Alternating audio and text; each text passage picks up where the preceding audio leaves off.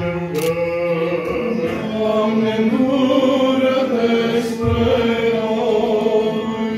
Doamne Dumnezeul nostru, care și această mărire ai dăruit-o Sfinților Tăi martiri, celor ce pentru Tine s-au nevoit ca tot pământul prin Sfintele Tale locașuri să se semene Sfintele lor moaște, ca să răsară și să o drăzlească roade de vindecări, însuți, stăpâne, Cel ce ești dătătorul tuturor bunătăților, pentru rugăciunile Sfinților, cărora ai binevoit a se pune moaștele lor în cinstit lăcașul acesta, învrednicește-ne pe noi, fără de o sândă a aduce în el, jertfa cea fără de sânge, și ne dăruiește nouă tuturor toate cererile spre mântuire, și răsplătește și celor ce se nevoiesc aici, pentru Sfânt numele Tău, ca minuni să faci prin Sfinții Tăi pentru mântuirea noastră, ca Ta este împărăția și puterea și mărirea a Tatălui și a Fiului și a Sfântului Spirit, acum și pururea și în vecii vecilor.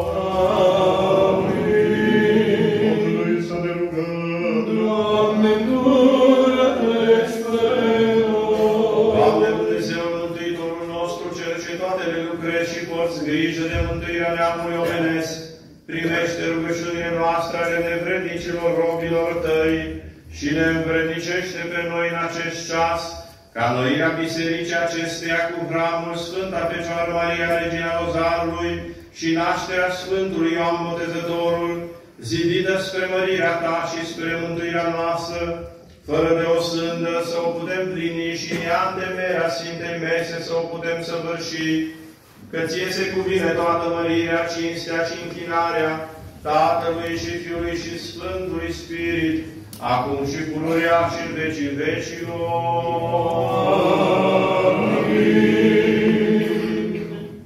În acest moment, arhiereul toarnă peste cutia cu Sfintele Moaște și peste cutia cu hrisov sau cu documentul bisericii, ceară topită, sigilând masa Sfântului Altar.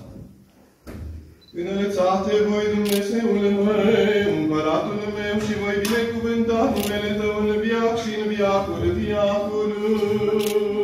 În toate zilele te voi binecuvânta și voi lăuda numele Tău în viac și în viacul viacului. Mare este Domnul și lăudat foarte, și măreția Lui nu are sfârșit. Neam și neam vor lăuda lucrurile Tale și puterea Ta o vor vesti. Măreția slavei sfințeniei Tale vor grăi, și minunile Tale vor istorisi. Și puterea lucrurilor Tale înfricoșătoare vor spune și mărirea Ta vor povesti. Omenirea mulțimii bunătății Tale vor vesti, și de dreapta Ta se vor bucura.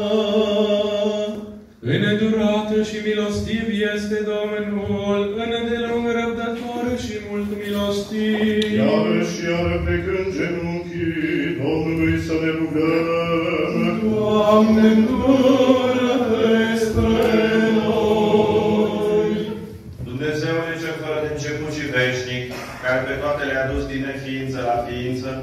Cel ce locuiește în lumina cea neapropiată, Cel ce ai cer un scaun și a șternut picioarelor tale pământul, care ai dat lui Moise poruncă și pildă, Cel ce ai pus spiritul tău unde ți avea meșterul cel mare, și l-ai îndestulat pe dânsul cu înțelepciune spre întocmirea, întocmirea și ridicarea cortului mărturiei în care erau închipuirile și formele adevărului.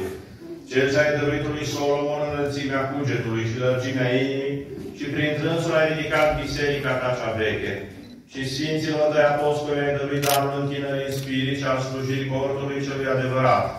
Și prin trâns și tot pământul ai sădit Sfintele tale biserici, ca să se aducă în ele prea Sfintele și cele fără de sânge jertfe, care binevoit a se zidi această Sfântă Biserică de acum, cu hramul Sfânta Fecioară Maria Regina Rozarului și Sfântul Ioan Botezătorul, întrumărirea ta și a unei a născut Fiului Tău și a Sfântului Spirit, Însuși cel fără de moarte și mare dătătorul împărat, te-a adus aminte de îndurările și de milele tale, că din viac sunt, și nu te scârbi de noi cei întunecați cu mulțimea păcatelor, și nu strica așezământul Tău pentru necuvința noastră, ci trece acum cu vederea păcatele noastre și ne întărește și ne umple pe noi cu darul și cu coborârea Sfântului și de viață Făcătorului Tău Spirit, fără de o sânda săvârși noirea bisericii acestea și a face sfințirea jertfelnicului cerului din ea.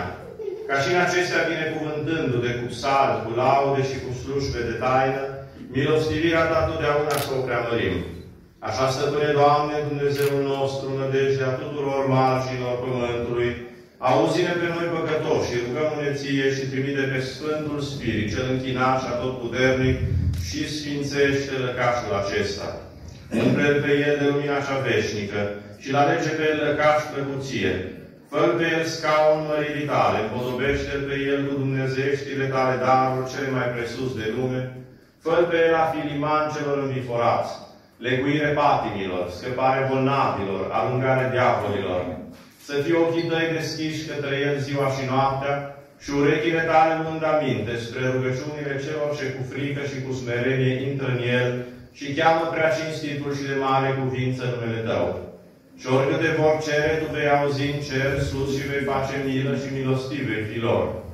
Păzește pe neclintit până la sfârșitul viacului, iar jertfelnicul cel zidit în el, cu puterea și cu lucrarea Sfântului Tău Spirit, arată pe el a fi Sfânt a Sfintelor, preamărește pe el mai mult decât altarul celor din legea cea veche, încât dumnezeștile jertfe ce se vor săvârși în el, să ajungă la Sfântul cel mai presus de ceruri și tainicul Tău jertfelnic, și ne dă nouă darul umbririi Tale cele preacurate, că nu în facerea nevrednicilor noastre mâini ne punem nădejdea, ci într-o a Ta necuprinsă bunătate. În aceste momente, arhiereul începe spălarea Sfintei Mese altarului, făcând cu săpunul cruce în cele patru colțuri ale ei. Iar mai apoi o va spăla cu apă caldă și o va șterge cu prosoapele.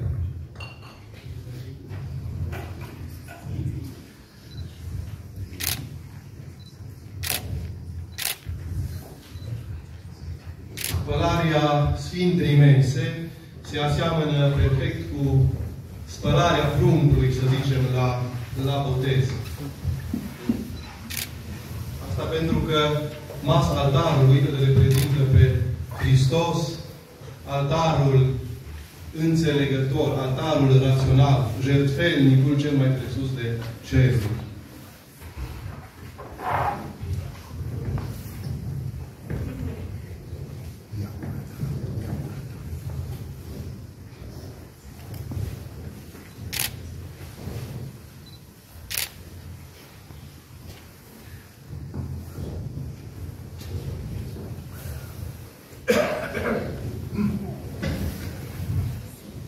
Domnului să ne rugăm. Doamne, îndură-te spre noi. Doamne Dumnezeule, Cel ce cu arătarea Ta cea mântuitoare ai sfințit repejunile Iordanului, însuși și acum trimite darul prea Sfântului Tău Spirit peste jertfelnicul acesta și ne binecuvintează pe noi și apa aceasta ca să fie spre sfințirea și săvârșirea Sfântului Tău altar, că binecuvântat ești în vecii vecilor. Amin. În numele Tatălui și al Fiului și al Sfântului Spirit, acum și pururea și în vecii vecilor. Amin. Cât de iubite sunt lăcașurile tale, Doamne, ale puterilor. Dorește și se sfârșește sufletul meu după curățile Domnului.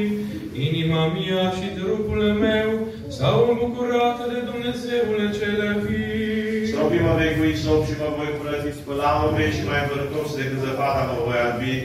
Auzului meu vei da bucurie și veselie, bucurase vor oasele mele cele smerite. Binecuvântat este Dumnezeul nostru totdeauna acum și pururea și în vecii vecilor. Amin. Să luăm aminte.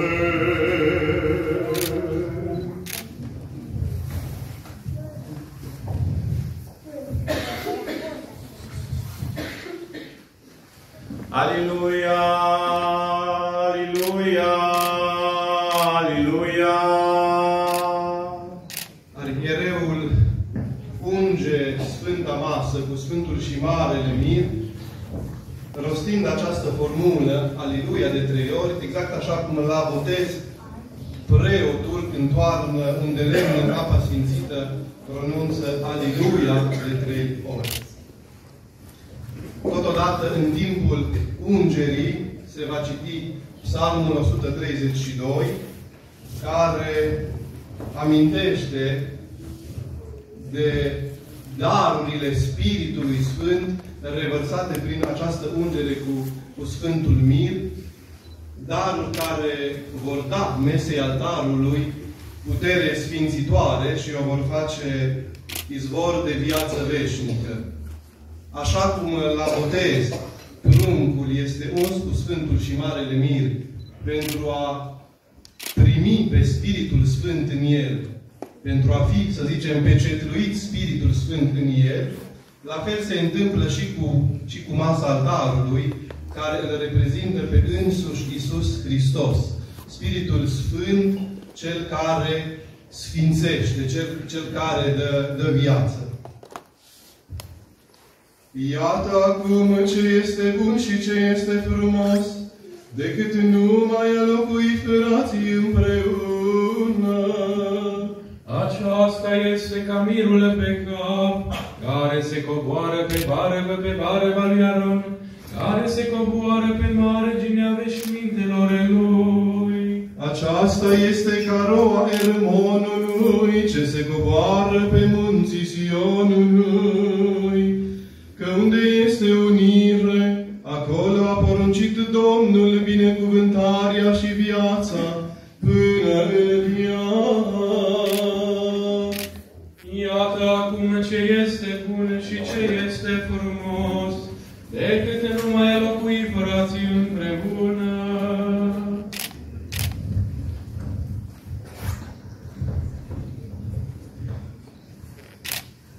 În aceste momente, arhiereul așează în cele patru colțuri ale Sfintei Mese chipurile celor patru evangeliști, cei care au consemnat, să zicem, și au scris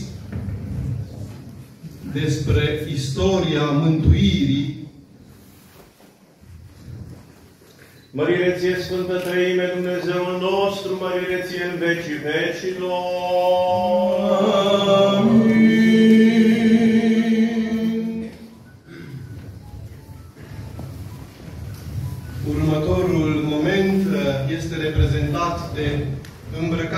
Îmbrăcarea Sfintei Mese cu veșmintele ei specifice, așa cum și la botez pruncul este îmbrăcat cu haine noi, haine curate, hainele mântuirii, să spunem, și la fel și Sfânta Masa Altarului este îmbrăcată. Primul veșmânt care s-a pus se numește cămașă sau catasarchion în limba greacă, însemnând ceea ce vine peste corp sau peste, peste carne.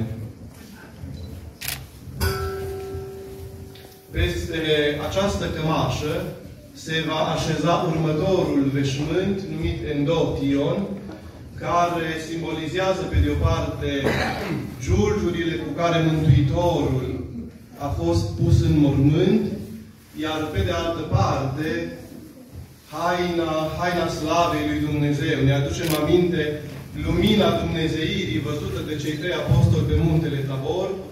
Asta pentru că, într-un fel, și altarul reprezintă muntele schimbării noastre la față, prin împărtășirea cu Sfintele daruri.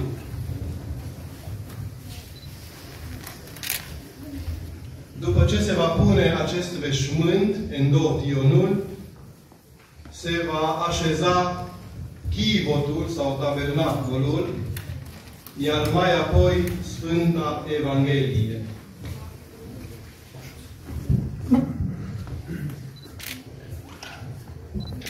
Adu-ți aminte, Doamne, de David și de toate blândețile noi. Cum s-a jurat Domnului și a făgăduit Dumnezeului lui Iacob. Nu voi intra în locașul casei mele, nu mă voi sui pe patul meu de odihnă. Nu voi da somn ochilor mei și genelor mele, dormitare și odihnă câmplelor mele. Până ce nu voi afla loc Domnului, locașul Dumnezeului lui Iacob. Iată am auzit de chipotul legii, nefără că l-am găsit în țarina lui Iar. Intra vom în locașurile lui, ne vom închina în locul unde au stat picioarele lui. Scoală-te, Doamne, în odihna ta, Tu și chivotul sfințirii tale. Se sfințește biserica aceasta prin stâmpirea cu apă sfințită și prin ungerea cu Sfântul și Marele Mir, în numele Tatălui și al Fiului și al Sfântului Spirit, acum și pururea în vecii vecilor. Amin.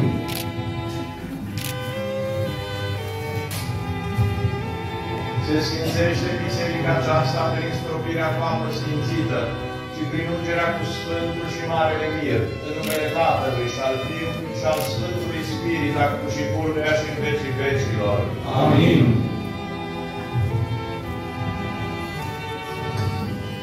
Se sfințește această biserică prin stropirea cu apă sfințită și prin ungerea cu Sfântul și Marele Mir, în numele Tatălui și al Fiului și al Sfântului Spirit, acum și pururea și în vecii vecilor. Amin. Se sfințește această biserică prin stropirea cu apă sfințită și prin ungerea cu Sfântul și Marele Mir, în numele Tatălui și al Fiului și al Sfântului Spirit, acum și pururea și în vecii vecilor. Amin se sfințește această biserică prin sopirea ta păsfințită și prin ducerea cu Sfântul și Marele Mir, în numele Tatălui și al Fiului și al Sfântului Spirit, acum și pururea și în vecii vecilor. Amin. Domnul este meu căl,